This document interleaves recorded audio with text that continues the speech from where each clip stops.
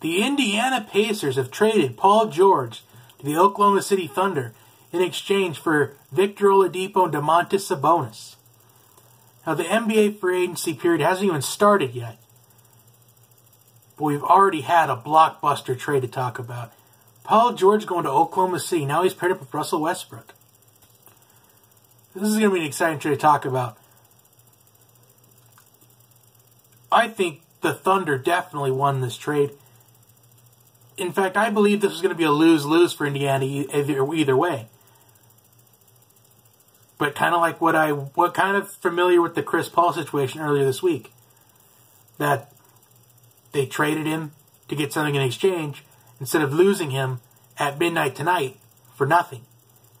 So it was a smart move for the Pacers to try to come up with something. Because I honestly thought that Paul George was going to stay in Indy.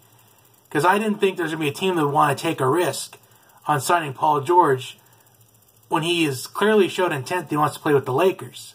So I thought it was going to be a big risk for a team to sign someone in Paul George who may only play one season for them. This comes as a huge surprise to me, but it's exciting to talk about. And the Thunder, I believe, won this trade big time because they got rid of they got rid of Oladipo's, they got rid of his salary, they got rid of his cap space, and plus it pairs Paul George and Russell Westbrook together, which I think is going to be a very exciting tandem to see. So it's kind of this is kind of like the silly season for NBA, and trust me, this off season has been more exciting than the regular season itself. And if you disagree with me, you've got to be thinking differently. Because just so many different things have happened. It's very unpredictable. But this week we've seen Chris Paul now going to Houston to pair up with James Harden. Now we're seeing Paul George going to Oklahoma City to pair up with Russell Westbrook. But there's still some major free agents still out there.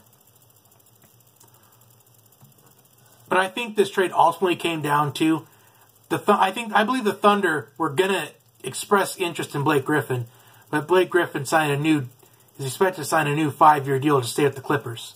So that so when that plan went out the window, their next best option was to go with Paul George. And I think it was executed beautifully by Oklahoma City.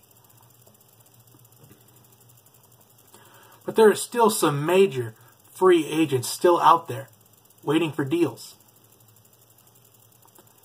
like Gordon Hayward, Paul Millsap, Kyle Lowry, Jrue Holiday, Danilo Gallinari, Andre Iguodala, Nerlens Noel, Derrick Rose, Tim Hardaway, Rudy Gay, George Hill. Just so many major players are still unsigned at this moment. And the next few days are going to be really exciting.